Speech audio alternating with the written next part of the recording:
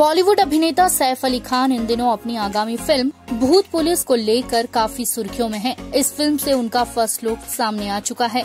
सैफ के इस first look poster को उनकी पत्नी करीना कपूर खान ने अपने इंस्टाग्राम पर शेयर किया है। ये फ़िल्म जल्द ही डिज्नी प्लस हॉटस्टार वीआईपी पर रिलीज़ होगी। पोस्टर में सैफ ब्लैक आउटफिट में एक धारदार हथियार पकड़े पोज देते नज़र आ रहे हैं। उनके फैंस इस मूवी का बेसब्री से इंतज़ार कर रहे हैं।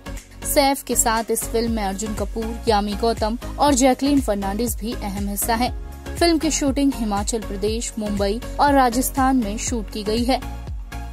IANS report.